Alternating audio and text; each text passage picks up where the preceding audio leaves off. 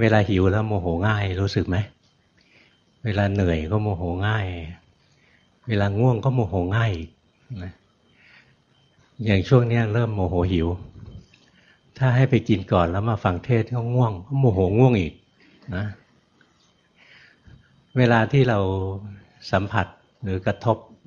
อะไรที่มันไม่ชอบใจ ความหงุดหงิดจะเกิดขึ้น เรียกโทสะภาษาพระเรียกโทสะความโกรธมันจะเกิดขึ้นมันลำคาญหงุดหงิดงั้นเวลาเราเจ็บไข้ได้ป่วยเนี่ย มันไม่เจ็บป่วยเฉพาะร่างกายจิตใจมันจะหงุดหงิดไปด้วย หรือจิตใจมันจะมีโทสะอย่างพอได้ยินทีแรกว่าเป็นมะเร็งนะโทสะอันแรกเลยตกใจนะบางคนกลัว ตกใจกังวลเนี่ยนี่กิเลสตระกูลโทสะทั้งหมดเลยนะ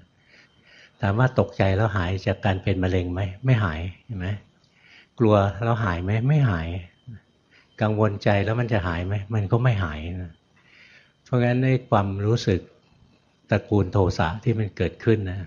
มันเป็นส่วนเกิน ไม่ได้มีประโยชน์อะไรเลย มันมาบั่นทอนจิตใจของพวกเรา โดยไม่มีความจำเป็นไม่มีประโยชน์ แต่อยู่ๆจะไปบอกว่าทำใจให้สบายส่วนมากชอบปลอบกันบอกทำใจสบายสบายสบายอย่างโน้นสบายอย่างนี้ถ้าเป็นคนไข้ก็อยากจะย้อนบอกแกลองมาป่วยดูบ้างสิ แกมาพูดอยู่ได้ทำใจให้สบายนะลงแกป่วยนะแกคงชักดิ้นชักงอ ยิ่งกว่าฉันอีกนะนะ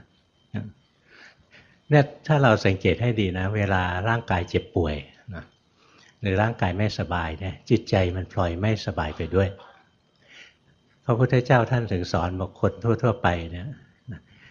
เวลาร่างกายมันเจ็บป่วยเนี่ยเหมือนถูกยิงด้วยธนูดอกที่หนึ่งยิงเข้ามาที่ร่างกาย